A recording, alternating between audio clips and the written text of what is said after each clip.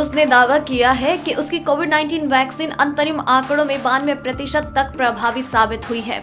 रूस ने ये ऐलान अमेरिकी कंपनी फाइजर के ऐलान के दो दिन के बाद किया था। रूसी कोरोना वैक्सीन स्पुतनिक वी की पहली खेप भारत आ भी गई है। भारत ने कई कंपनियों से करीब 1.6 अरब कोरोना वैक्सीन का करार कर लिया है। केंद्र सरकार ने कुछ दिन पहले ही कहा था कि देश के सभी लोगों को कोरोना वैक्सीन उपलब्ध करवाई जाएगी। कोरोना वैक्सीन पर मॉडर्ना फाइजर का अलग फॉर्मूला मॉडर्ना और फाइजर कोविड 19 वायरस की जगह सिंथेटिक जेनेटिक मटेरियल का प्रयोग कर रही है, जिसे मैसेंजर आरएनए या एमआरएनए कहा जाता है। ये शरीर की रोग प्रतिरोधक वायरस से लड़ने के लिए ट्रेंड करती है। रोग प्रतिरोधक विकसित होने के बाद शरीर की सेल्स कोरोना वायरस को बढ़ाने वाली प्रोटीन की कॉपीज बना लेती है, जो प्रतिरोधक क्षमता को कोरोना वायरस प्रोटीन पर हमला करने पर संकेत देती है। कई तरह की ऐसी ही वैक्सीन अन्य बीमारियों के लिए भी बनाई जा रही है, लेकिन कोई भी अभी तक अप्रूव नहीं हो पाई है।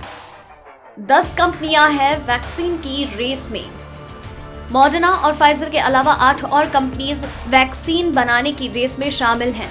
और सभी ट्रायल के तीसरे चरण में हैं। बता दें कि अमेरिका में 50 परसेंट तक सफल वैक्सीन को वहाँ की फ़ूड और ड्रग एडमिनिस्ट्रेशन एफडीए अप्रूवल दे देती है। ऐसे में अमेरिका की दो कोरोना वैक्सीन जल्द ही बाज़ार में उपलब्ध हो सकती है। अमेरिका की सरकार ने दोनों कंपनी से 100 मिलियन डोज खरीदने का करार कर लिया है।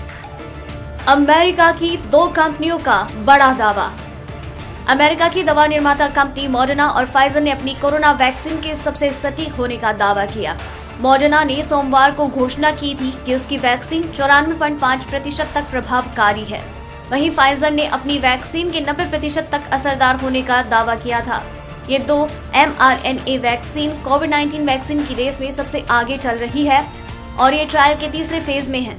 अगर सब ठीक रहा तो एजेंसियों की इजाज़त के बाद दिसंबर में वैक्सीन लोगों को दी जा सकती है। अगर आपको ये रिपोर्ट पसंद आई तो इसे लाइक और शेयर करें। साथ ही अपने व्यूज़ हमें कमेंट करके ज़रूर बताएँ। डेली ट्रेंडिंग न्यूज़ की रिपोर्ट सब्सक्राइब करें हमारा चैनल ऐसी ही लेटेस्ट और इंटरेस्टिंग न्यूज़ के लिए।